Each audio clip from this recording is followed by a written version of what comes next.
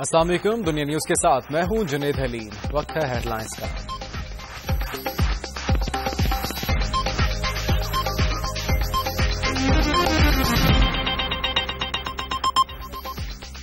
हुकूमत और तालिबान कमेटियों की मुलाकात आज फिर मुतवक्के हुकूमती कमेटी डीजीआईएसआई से भी मिलेगी। अमरीका ने मुजाकरात को पाकिस्तान का अंदरूनी मामला करार दे दिया। अमरीका ने हकारी नेटवर्क से मुबैना तौर पर ताल्लुक रखने पर तीन अफराद को खसूसी आलमी दहशतगर्द करार दे दिया। माली असासे मुंजमद किए जा सकेंगे। कराची पुलिस का पख्तून स्टूडेंट लीडर शाह कलाम को जारी मुकाबले में मारने का एतराफ। डीएसपी सोहराब गोट कत्ल पर शर्मिंदा। आज सिंध भर में एहतजाज होगा। धमाके से मुतासरा नाइट कोच 14 घंटे ताखीर से लाहौर पहुँच गई। रेलवे ट्रैक मुरम्मत के बाद बहाल कर दिया गया।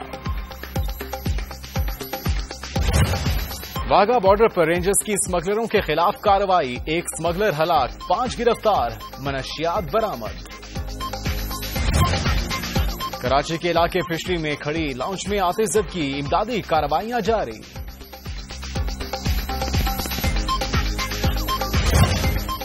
ईरानी सदर हसन रूहानी ने हमसायों से बेहतर ताल्लुकात को पहली तरजीह करार दे दिया। कहते हैं जिनेवा मुहिदा मुश्किल से निकाल रहा है। बोलीविया में सैलाब से हज़ारों घर पानी में डूब गए। चालीस हज़ार से जायद अफराद मुतासर।